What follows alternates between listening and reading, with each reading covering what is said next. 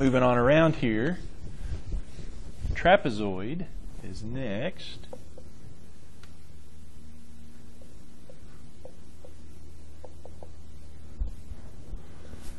Remember, the trapezoid is the one that has the uh, one pair, one set of parallel sides.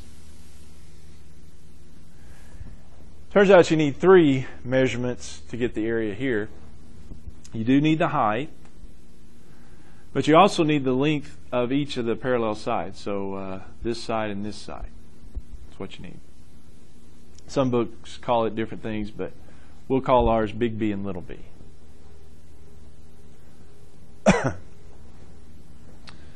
well, here's where this comes from. Uh, okay.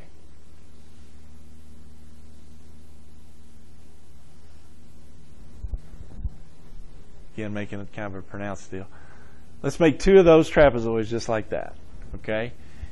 And then I'm going to flip the second one. Okay? That one's supposed to be just like that one. Okay. All right. So I'm going to flip this one over again and put it right here.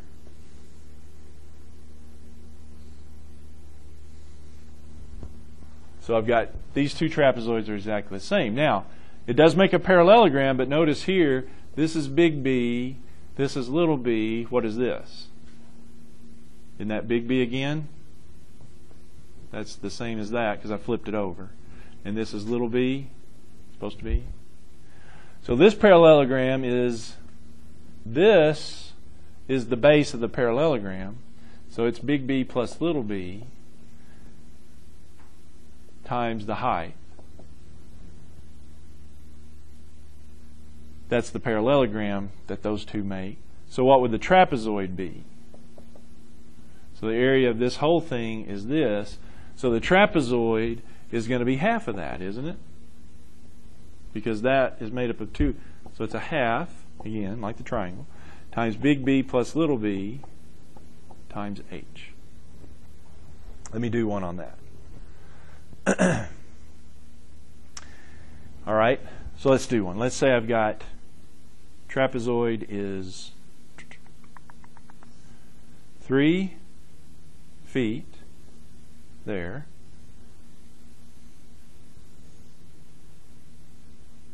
Um, five feet along down here, and then this is two feet here.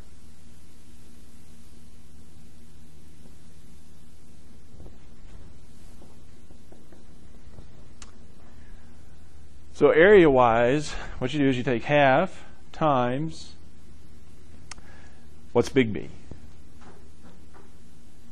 5 plus little b, 3, and then times the h on the outside, which would be 2. so the deal is you've got to add the big B plus little b, which gives you 8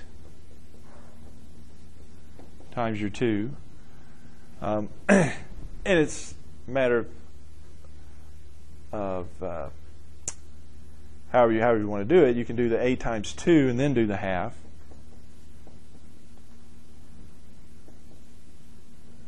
Half times 16 is 8. Now, my area is 8, and again, units for area, I will be checking your units because we'll do more units uh, next time, but units for area, always square units.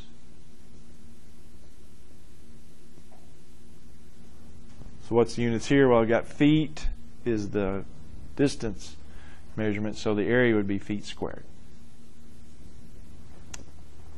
Units for area is always square units. Okay. All right.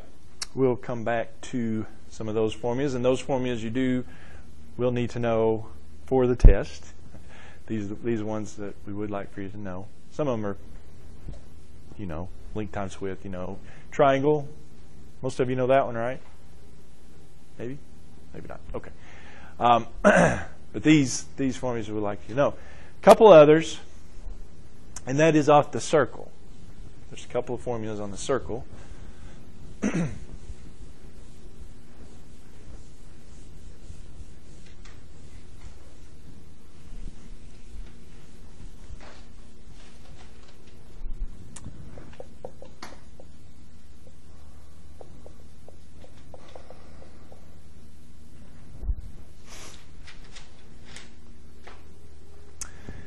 Yeah, on a circle,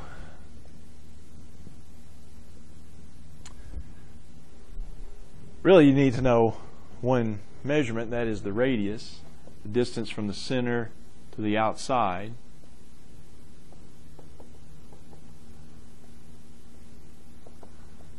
Sometimes they also give uh, the diameter. What's the diameter? Distance across through the center, right?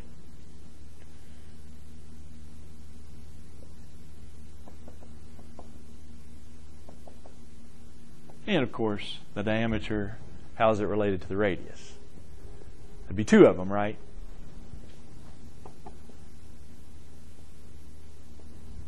The diameter is twice the radius, or 2 times r, um, or the radius is the diameter divided by 2, whichever perspective you want there. yeah, so there's a relationship, of course, between the radius and the diameter. Okay, now, for the circle, the distance around, it's not usually referred to as the perimeter.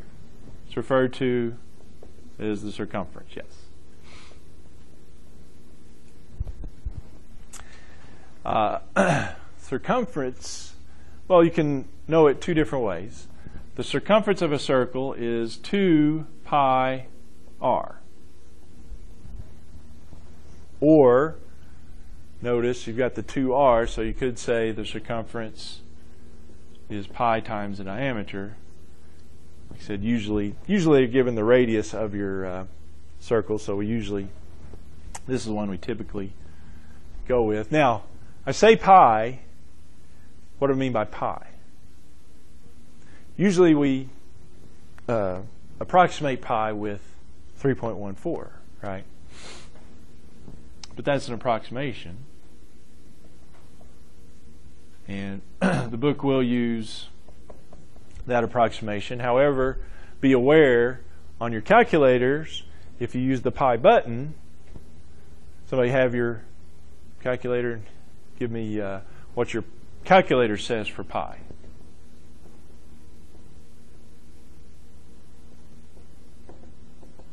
It's 3.14. Okay, yeah. the calculator keeps going. It, it does more than just 3.14 because pi is a never ending decimal number. Um, and the calculator will use a little more exactness than just 3.14. 3.14 is just a good rounding that we, and that's the answers in the book will give you with 3.14. But I don't care. Use uh, use your pi button on your calculator. Just be aware it'll slightly vary um, your answer comparatively speaking. Now, what I'd like to show here is uh, uh, this. The reason, uh, well, if you focus on this one, it turns out that if we were to accurately measure the distance around this circle from here around to there, that's the circumference, and compare that to, you could do it to the radius or diameter, either one if we could compare that ratio to the ratio of a bigger circle, measuring its circumference to its diameter, and then bigger circle or smaller circle, whichever you prefer, if we were to accurately measure its circumference to its diameter, turns out all these are the same ratio no matter what size. You know what the ratio is? About 3.14 pi. It is pi. Doesn't matter what size or shape the circle is, the ratio of the distance around to its diameter, that's pi. And this is where this comes from. This was known however long ago, long, long time ago, that this ratio was the same. And this formula comes right out of that because if you multiply both sides by d, you get c equals pi times d, which is exactly that, and then the other comes from it. So that's that's where that formula comes from. Now, the area of a circle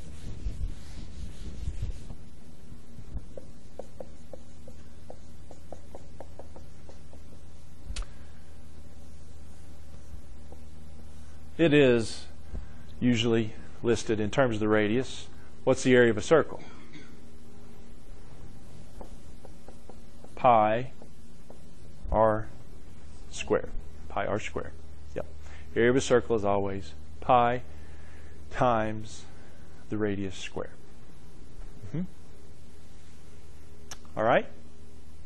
And uh, that, too, comes out of, uh, believe it or not, comes out of a rectangular uh, scenario. You can divvy it up. here's here's quick quick rundown.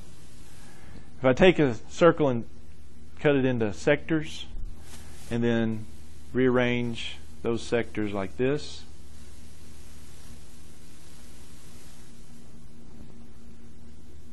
Not much looking like a rectangle there, but uh, let's go with it. All right, so this is this right here. Well, let's start with this one. What is that length right there? Wouldn't that be one of these, the radius? And then this would be this much, which is half of the circumference.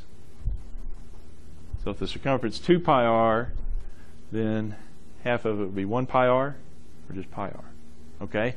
Like I said, that doesn't much resemble a rectangle. However, if you keep splitting this up to smaller and smaller pieces of pi, notice these get less and less curvy. And so you wind up, you know, your little pieces of pie here are a little straighter on the bottom. Whoops, not that. Like this. That, like that. That one, I don't know, may have got 16 or so. But anyway, yeah, this this gets a little straighter. This gets a little more upright. So you wind up, if you get more and more pieces of those, yeah, you wind up getting pretty straight up and down, pretty straight across. I mean, it's all divvied up, but yeah, you got pi r rectangle by r length, width, pi r times r is pi r squared. Anyway, let me show you the problem.